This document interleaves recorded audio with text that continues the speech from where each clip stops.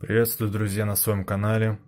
Вас, наверное, удивляет вот эта вот тара необычная у меня, да? Сегодня потому что необычный рецепт на довольно непростую рыбу. Рыба наша сегодняшняя это линь. Так, берем хлеб, смачиваем в воде целиком и отжимаем, полностью отжимаем всю воду, которую впитал наш хлеб за те секунды, которые вот он провел в таре с водой. Воды у меня было буквально немного, где-то пару столовых ложек.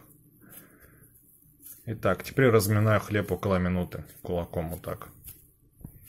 Так, немного размял хлеб, вот превратил его в такой вот блин небольшой. Вот, плоский хлеб получился такой. Теперь смотрите, сюда на хлеб добавляю йогурта. Вы можете добавить даже немного жирной сметаны, либо того же творога. Я добавляю йогурт. Немного кислый йогурт. Прям сюда вот на хлеб сверху.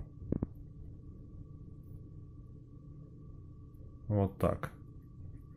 Получилось где-то чайная ложка, да?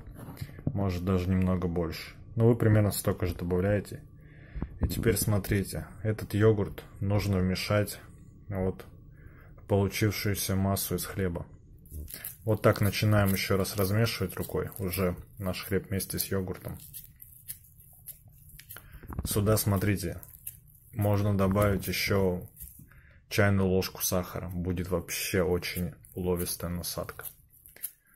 Сахар нам здесь будет дополнение на руку. Насадка получится кисленькая, с запахом, вкусом йогурта, еще и сладкая. Это будет просто вообще успех.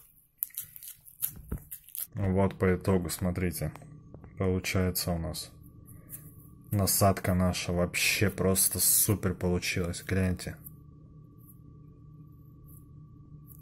Лень будет вообще в восторге. Готовьте такую насадку на линя, обязательно будет вас ждать успех. Останетесь всегда с рыбой. Ну и линя приятно удивите. Все как он любит. Так что вот, с вас лайк дорогие подписчики, зрители. Обязательно подпишитесь на мой канал, так как я готовлю для вас еще очень много видео. Все будет, всему свое время. Все готовлю специально для вас, чтобы вы были всегда во все оружие, знали, что приготовить, какие насадки, наживки, прикормки и так далее.